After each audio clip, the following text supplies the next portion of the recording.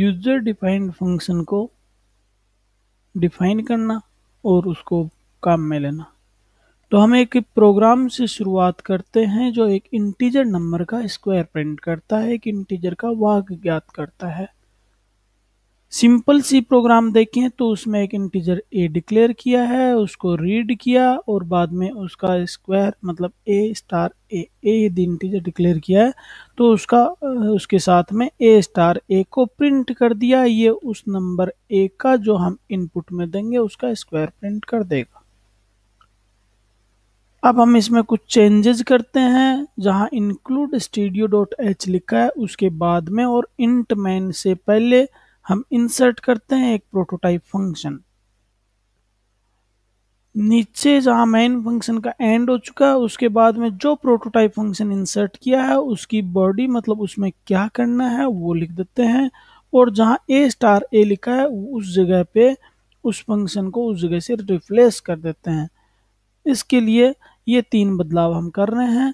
मतलब एक function square prototype के रूप में, यहाँ पर इंसर्ट किया है मतलब इंट इंट मतलब ये फ़ंक्शन किस तरह की वैल्यू रिटर्न करेगा? मतलब यहाँ मेन फ़ंक्शन में जहाँ या किसी फ़ंक्शन में इस फ़ंक्शन को कॉल किया है, इसको लिखा गया है, वहाँ पर किस तरह का नंबर प्रिंट करना है इंटीजर करना है फ्लोट करना है डबल करना है, वो नाम लिख दिया।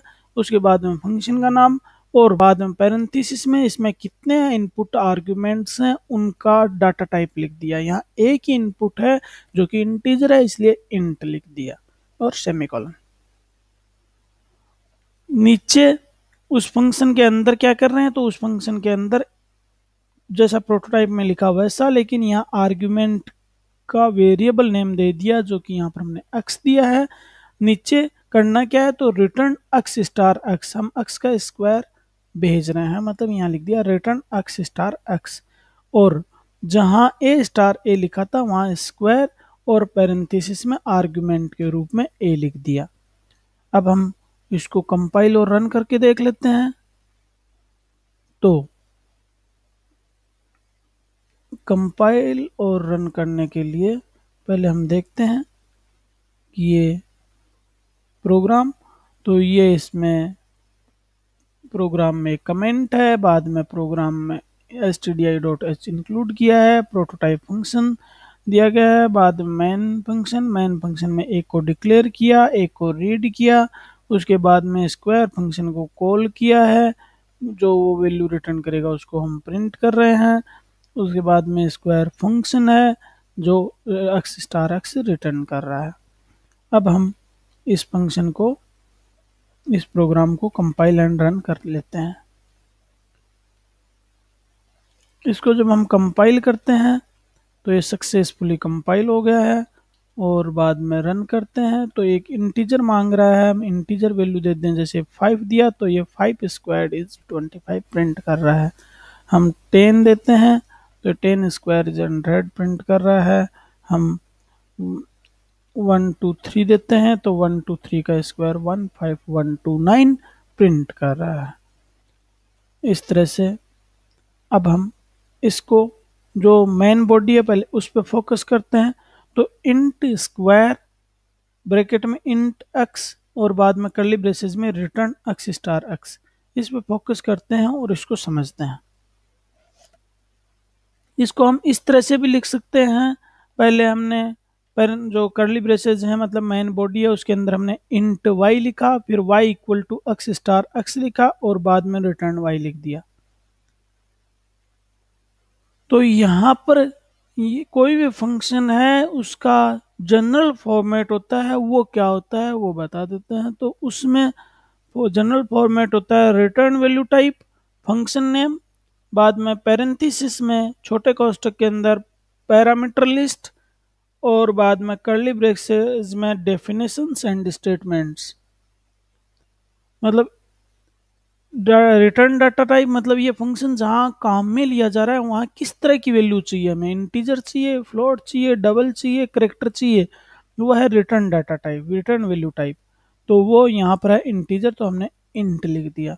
बाद में है फ़ंक्शन नेम फ़ंक्शन का नाम क्या है? तो अब हमारे यहाँ फ़ंक्शन का नाम है स्क्वायर हमने स्क्वायर लिख दिया।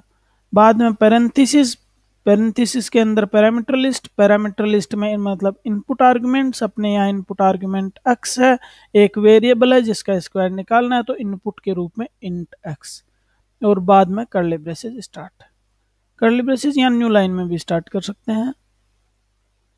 बाद में आते हैं डेफिनेशंस तो हमने यहाँ डेफिनेशन दे दी int Y Y equal to X star X Y क्या है एक इंटीजर है और उसकी वैल्यू क्या है? एक्स का स्क्वायर है।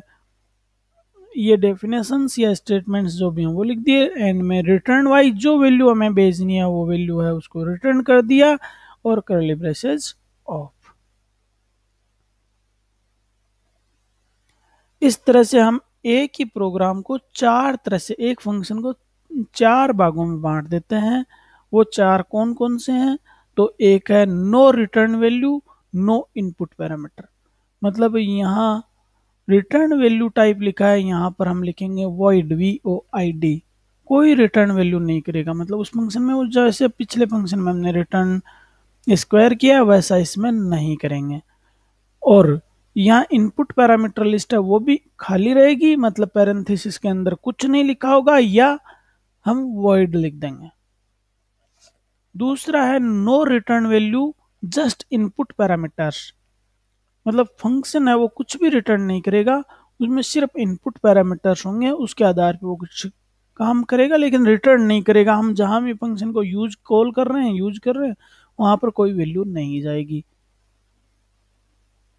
तीसरा है only return value no input parameters मतलब फ़ंक्शन अपने आप से कोई वैल्यू रिटर्न करेगा लेकिन हम इनपुट पैरामीटर लिस्ट है पैरेंथेसिस के अंदर कुछ भी नहीं लिखेंगे या लिखेंगे।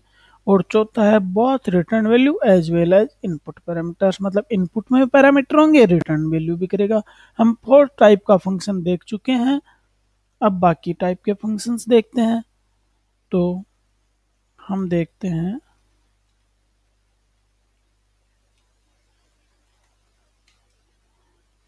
ये एक प्रोग्राम है। जिसको हम देखते हैं, समझते हैं, कोशिश करते हैं। तो यहाँ चार फ़ंक्शंस प्रोटोटाइप फ़ंक्शंस हैं।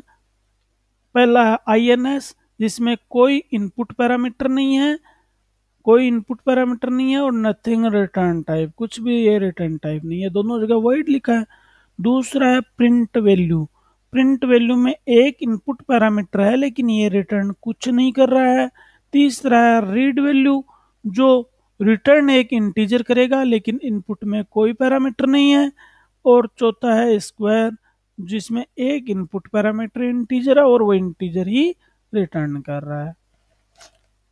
मेन फ़ंक्शन में हम जाते हैं तो मेन फ़ंक्शन में हम सारे फ़ंक्शंस को कॉल करते हैं। इसके लिए सबसे पहले हमने इंट ए और एस डिक्लेयर किया है। उसके बाद में आई एन एस फ़ंक्शन को कॉल कर रहे हैं, जिसको कोई इनपुट नहीं है, कोई रिटर्न नहीं है। बाद में हम A equal to read value function को कॉल कर रहे हैं मतलब रीड वैल्यू फ़ंक्शन जिसका कोई इनपुट नहीं है, लेकिन इंटीजर टाइप रिटर्न करेगा, उसको कॉल करते हैं और उस, वो जो वैल्यू रिटर्न करेगा, वो हम यहाँ ए को असाइन कर देंगे। नेक्स्ट है स्क्वायर स्क्वायर को कॉल किया है, इसमें एक वैल्यू इनपुट में दे रहे हैं और ये उसके एवज में हमें एक वैल्यू रिटर्न भी कर रहा है। तो हम स्क्वायर फ़ंक्शन में जो ए पिछला वैल्यू ए की थी, वो इनपुट में देंगे, वो उस वैल्यू से कुछ कैलकुलेशन करके कुछ रिटर्न करेगा, वो हम एस को असाइन कर रहे हैं। बाद में हम प्रिंट वैल्यू फ़ंक्शन को कॉल कर रहे हैं, जिसमें एस की जो वैल्यू है वो इनपुट में दे रहे हैं, और वो फ़ंक्शन कुछ भी रिटर्न नहीं कर रहा है। हम इन फ़ंक्शंस को देखते हैं।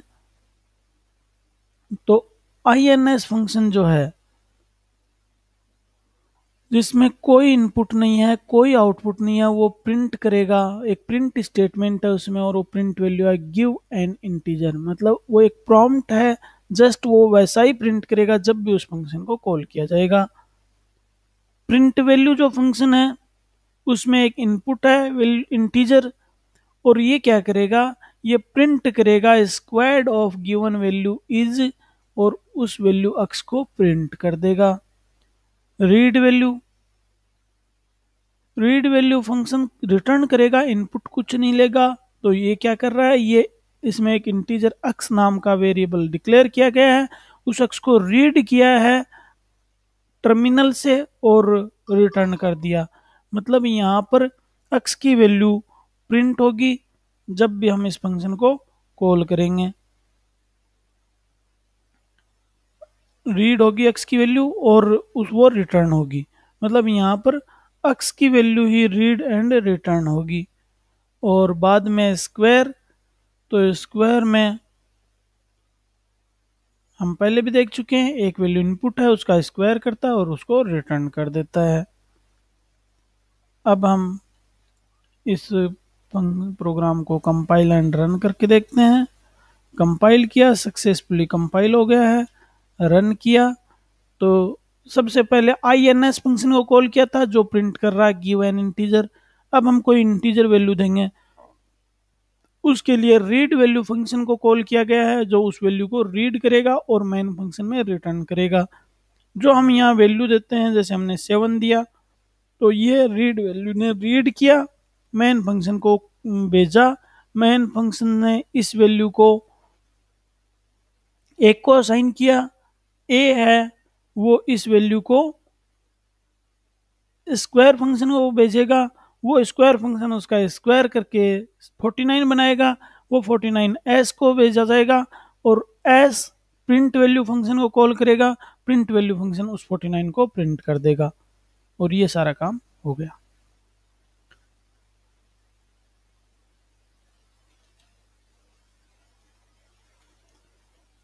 अब हम ये जो काम हो रहे हैं, इनको एक एक करके समझने की कोशिश करते हैं। तो वॉइड आई एन एस ये सारे वो फ़ंक्शंस हैं, चारों तरह के फ़ंक्शंस हैं जो अभी हमने एग्ज़ाम्पल में देखे। इनमें सबसे पहले है रिटर्न वैल्यू टाइप तो चारों फ़ंक्शंस में दो में रिटर्न टाइप वर्ड है मतलब आई ये फ़ंक्शन का नाम है, उससे पहले वॉइड लिखा हुआ है, इसलिए कुछ रिटर्न नहीं करेंगे। और दो में इंट लिखा हुआ है मतलब ये दोनों इंटीजर रिटर्न करेंगे, जो फ़ंक्शन की बॉडी में हमने लिख भी रखा है रिटर्न अक्स या रिटर्न वाई जो भी रिटर्न कर रहा है, वो इंटीजर है। तो इस तरह से कोई भी फ़ंक्शन जब रिटर्न करता है कुछ तो हम उसको क्या वैल्यू रिटर्न करनी है, उस तरह का उस फ़ंक्शन को डिक्लेरेशन में दे देते हैं। Return value type. और उसके बाद में यदि कुछ रिटर्न नहीं करता है तो हम क्या लिखते हैं? वॉइड लिखते हैं। नेक्स्ट है फ़ंक्शन नेम तो यहाँ चारों फ़ंक्शंस के नाम है जो वैलिड आइडेंटिफायर होने चाहिए वैलिड आइडेंटिफायर का क्या मतलब है? कि इनके जो नाम हैं, उनमें वेरिएबल नेम में ये अल्फ़ाबेट कोई डिजिट या अंडर स्कोर ही इंक्लूड कर सकते हैं। इसके अलावा कुछ नहीं होना चाहिए। उसमें भी डिजिट इसका स्टार्टिंग करेक्टर नहीं होना चाहिए। स्टार्टिंग करेक्टर डिजिट नहीं होना चाहिए मतलब अंडर स्कोर या अल्फ़ाबेट हो सकता है। जैसे इसमें स्टार्टिंग आई है प्रिंट वैल्यू में पी है रीड वैल्यू में आर है स्क्वायर में एस है। उसके आगे हम इंटीजर कोई नंबर दे सकते हैं, हम अंडर स्कोर लगा सकते हैं, कोई भी अल्फ़ाबेट लगा सकते हैं। वो है वैलिड आइडेंटिफायर फ़ंक्शन की पैरामीटर लिस्ट में यदि हमने, जैसे दो फ़ंक्शन इनमें इनपुट में पैरामीटर है I N T X square और प्रिंट वैल्यू में तो वहाँ हमने पैरामीटर लिस्ट दे दी, एक से ज़्यादा होते तो कोमा लगा के सारे दे देते। लेकिन यदि कोई पैरामीटर इनपुट नहीं है तो हम इसको खाली छोड़ सकते हैं पैरेंथेसिस को, या वॉइड लिख सकते हैं।